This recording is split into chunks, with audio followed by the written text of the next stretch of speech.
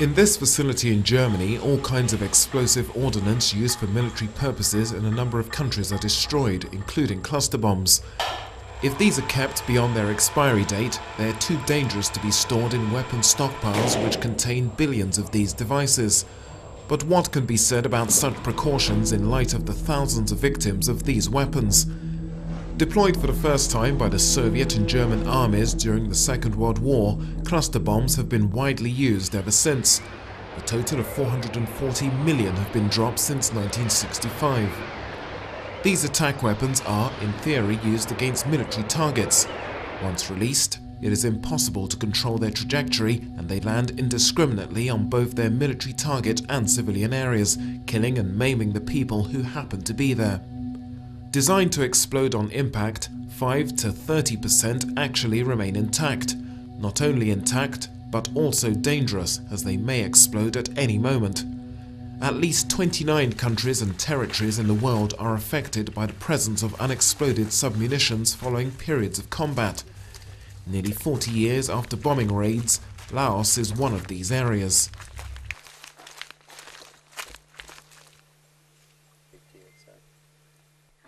ดำเท่าดำไปเอา อันเท่าลอยหาไปเอาลูกบุมบีบอกไปอีกแล้วไปชวนเท่าดำเท่าดำแล้วก็มาอืมบอกอีกมาแล้วก็อันเท่าเท่าอันเท่าลอยว่าว่าที่ทับอยู่ในหันเท่าว่าเท่าดำว่าทับในนี่อืมบอกต่อไปอีกอันเท่าเท่าดำทับโป๊ะบัวแตกกิ่งไปพุ่นอีกเท่าดำไปจับเอาอีกอืมทีมในนี่แล้วก็ อันเท่าเท่าดำว่าอันหะอันปูนล้านว่าล้านว่าว่า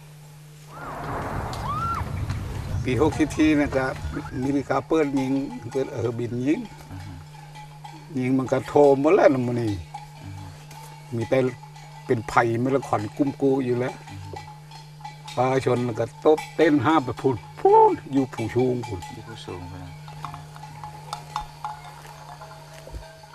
These are American cluster bomb units, or commonly known as CBUs.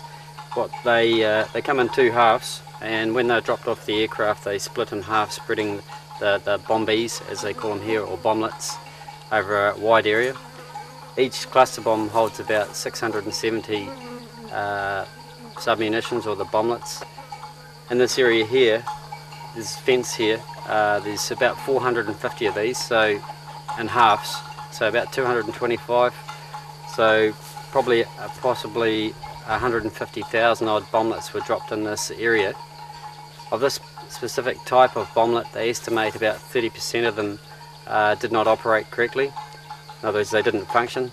So you, by those estimates, about 45,000 remained in this area after the war. Dispersed randomly over tens of hectares, often active long after a conflict ends, and indiscriminately harming military personnel and civilians, these weapons, like anti-personnel landmines, violate the spirit of international humanitarian law.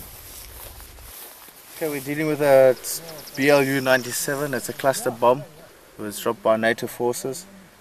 What happened because of the condition of this ground, you can see it's pretty soft. Uh, you'll probably find that a lot of these cluster bombs didn't detonate on impact of the ground. So uh, this whole area is probably contaminated with unexploded cl- uh, cluster bombs. What are you going to do now?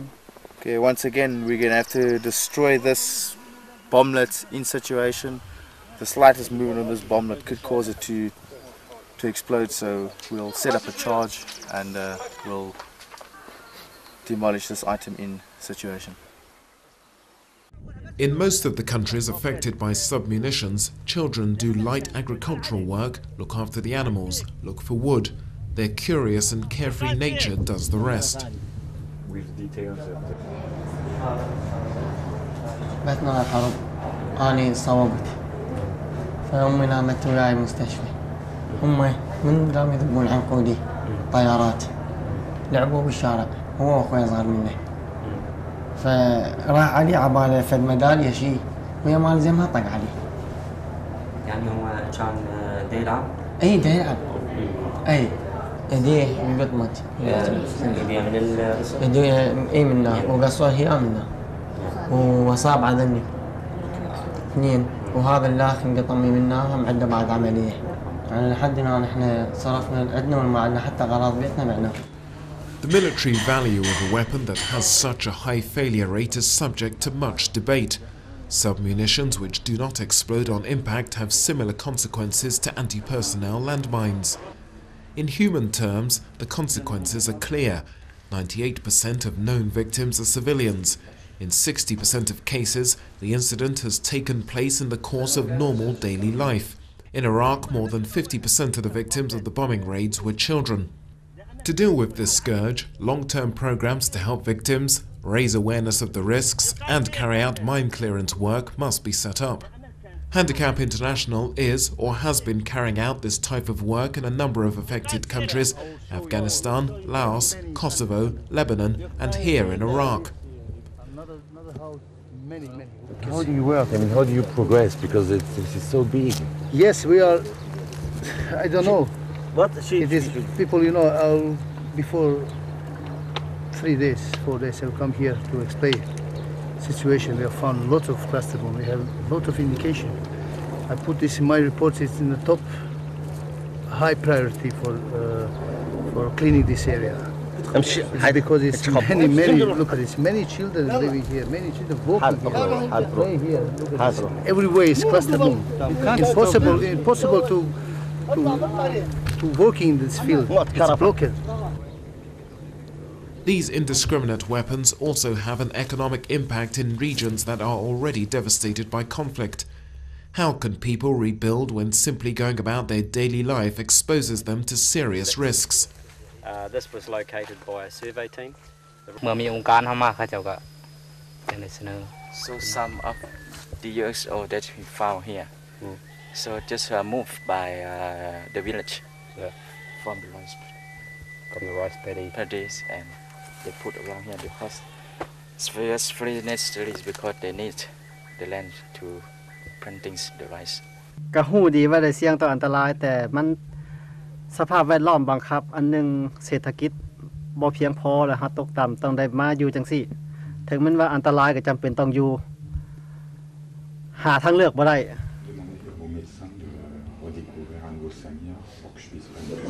أنا راعي ماجد عبرها عن العنزات أول مرة طلعت بها العنزات بلغنا إنه في أنابل عنقودية وفي ألغام في شرقلة بهالأرض تطلعوا لتشيلوها ما حدا كان يطلع.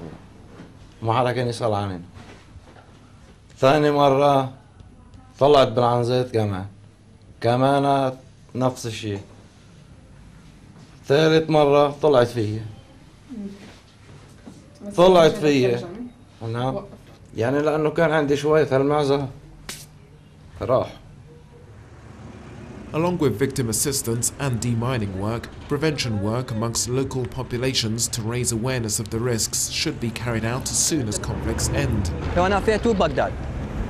Maintenant, on recommence à notre fois pour faire les places qu'il avait très importantes. Par exemple, cette place, il y a beaucoup de gens qui passent d'ici. Il y a beaucoup de gens qui, qui viennent ici. Nous, on recommence de travailler à cette place parce qu'on aide les enfants. On aide les gens qui sont accidents avec. On aide les gens qui, qui a de, de bombes à côté du giseau. Ce travail, ça nous donne plaisir. Ça, c'est le bon travail, oui. Pas comme quand on fait la guerre, on fait de, de bêtises à la, roue, on, on tue, on, on, fabrique une bombe. Non, on, il faut qu'on lève les bombes. On, aide les enfants, on aide les, les victimes qu'ils ont avec des accidents. Ça, c'est le bon travail.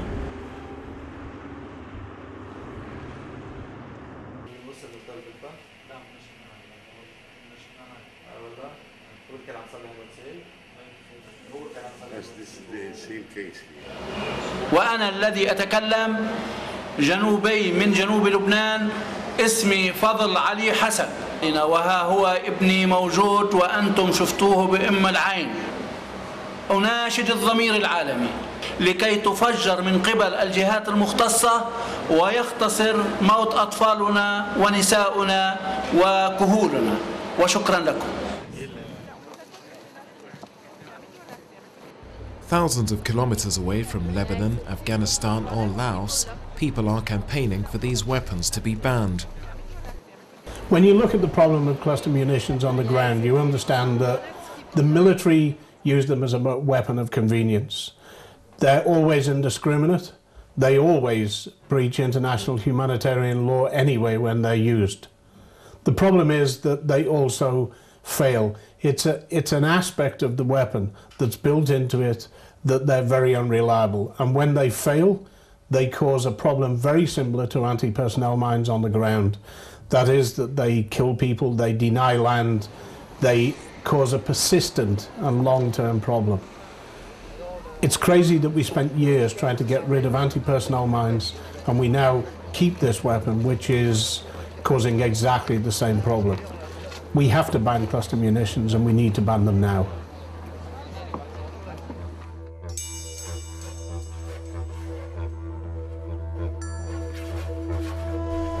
This call to ban cluster bombs is being echoed by thousands of voices across the world, following the example of the international campaign to ban landmines who obtained a mine ban treaty in 1997 Hundreds of organizations all over the world, including Handicap International, are taking action to stop the use, storage, sale and production of these weapons that continue the war when the war is over.